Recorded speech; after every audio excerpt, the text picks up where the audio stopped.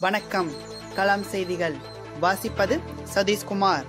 தருமபுரி மாவட்டம் காரிமங்கலம் ஒன்றியத்திற்குட்பட்ட பூமாண்டஹள்ளி பஞ்சாயத்தில் போட்டியிடும் கவிதா நாகராஜன் தனது கை உருளை சின்னத்திற்கு வாக்குகளை சேகரிக்க மோதூர் மேக்கனாம்பட்டி கோளம்பட்டி கல்லூர் உள்ளிட்ட பதினோரு சுற்று கிராமங்களில் தனது கை உருளை சின்னத்திற்கு வாக்குகளை சேகரித்தார். மேலும் கிராமங்களுக்கு தேவையான குடிநீர் வசதி மருத்துவ வசதி சாலை வசதி மின்சார வசதி போன்ற கிராமங்களுக்கு தேவையான அனைத்து அடிப்படை வசதிகளையும் செய்ய நடவடிக்கை எடுப்பேன் என்று உறுதி கூறி தனது கையுருளை சின்னத்திற்கு வாக்குகளை சேகரித்தார். களம் செய்திகளுக்காக தருமபுரியிலிருந்து சசிகுமார்.